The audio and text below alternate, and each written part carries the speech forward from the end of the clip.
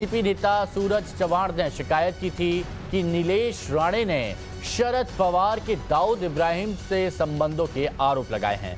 मुंबई के आज़ाद मैदान police station में ये मामला दर्ज किया गया है। 120 पी एक ए और 505 एक में ये मामला दर्ज किया गया है। आपको ये भी बता दें कि IPS Rashmi Shukla phone tapping case में पूर्व सीएम फडणवीस उद्धव सरकार के रडार पर हैं।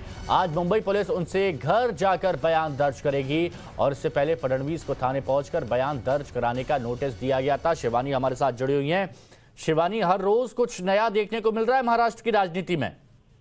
जी, बिल्कुल। देखिए, अगर बात की जाए फ़िलहाल नीतीश राणे और नीलेश राणे के खिलाफ इस एफआईआर की तो हाल ही फ़िलहाल में हमने देखा था कि किस तरह से नवाब मलिक का जो केस है, वो दाऊद से लिंक होकर ईडी की रेड और फिर उनकी ईडी कस्टडी और उनके बाद उनकी जुडिशियल कस्टडी हुई। और इसी बीच में नारायण राणे के बेटों ने इल्ज़ाम लगाया कि शरद पवार के भी, दाऊद इब्राहिम और उनके जो क्लोज एड्स हैं, उन लोगों से लगातार संपर्क है, उन लोगों से वो भी कॉन्टैक्ट में है, जिसके आधार पर ही ये जो फ्रेश एफआईआर है एनसीपी के युवा मोर्चा के एक जो नेता है, उन्होंने दर्ज की है धारा 120 ब, एक सौ तिरपन ए और 5051 के तहत ये मामला दर्ज हुआ है। साथ ही साथ आपको बता दें कि इस पर एनसीपी की ये प्रतिक्रिया कहती है कि सीधे सीधे उनके नेताओं पर बीजेपी वार कर रही है और नारायण राणी की फैमिली एक्टिवली इस चीज़ में काफ़ी ज़्यादा इन्वॉल्व है। वहीं जिस तरह से हम ज़िक्र कर रहे थे देवेंद्र फडणवीस का भी तो देवेंद्र फडणवीस ने भी कुछ दिनों पहले ही इस बात का खुलासा किया था कि कैसे जो शिवसेना है या जो पूरी एमबीए की सरकार है, अपने सरकारी वकीलों से सजेशन ले लेकर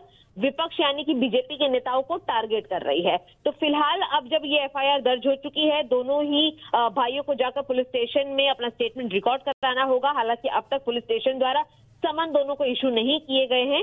लेकिन देखने वाली बात यह होगी कि जिस तरह से दाऊद कनेक्शन को लेकर पहले शरद पवार का फ़िलहाल इसमें नाम आ रहा है जिसको लेकर ऑलरेडी नवाब मलिक जेल के हवालातों के पीछे हैं तो ये कहीं ना कहीं मुश्किलें बढ़ाएगा पूरी एमवीए सरकार के लिए जवाबदेही के तौर पर।